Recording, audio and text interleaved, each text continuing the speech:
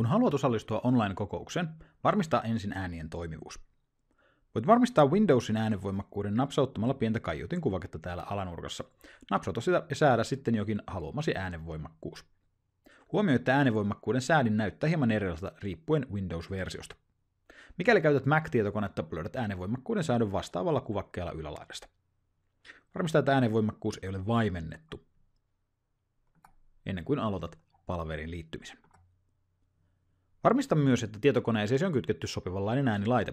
Monissa tietokoneissa on tietysti sisäänrakennettu mikrofoni ja kaiutin, valtaosa läppäreistä esimerkiksi on näin. Mutta mikäli ei, tai haluat käyttää ulkoista äänilaitetta, kytke sellainen.